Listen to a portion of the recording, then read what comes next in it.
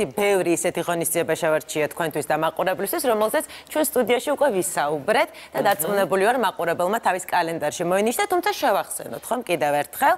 საპატრიარქო გუნდის საიუბილეო კონცერტი გამართება 27 დეკემბერს ჯანსუღ კახიძის მუსიკალურ ცენტრში. გახსოვთ ალბათ ჩვენ ვისაუბრეთ ამ თემაზე, ვისაუბრეთ ასევე პროგრამაზე, რომელიც წარმოქმნილი იქნება. კიდევ ერთხელ გეტყვით, რომ კონცერტის სპეციალური სტუმრები არიან. ნინო სურგულაძე, ნინო ქათამაძე, ზვიად ბოლქვაძე, გიორგი ცაგარელი და ბევრი სხვა შემსრულებელი.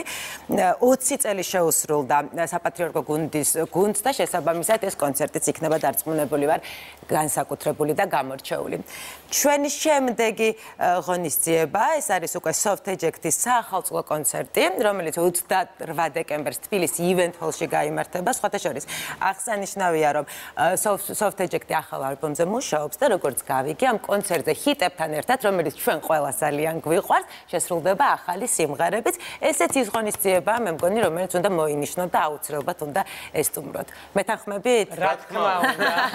ერთხმა სოფეჯექტის ჰანგები უკვე ჩვენ გავაჟღერეთ წინოპერს, როდესაც გიორგი კობახიძეს პეჩაყავდა სტუმრად და ჩვენ ამბობთ. სიუჟეტიც ჰქონდა ამ კონცერტზე. კი. ერთგვარად დავაანონსეთ ეს კონცერტიც როგორც მახსოვს.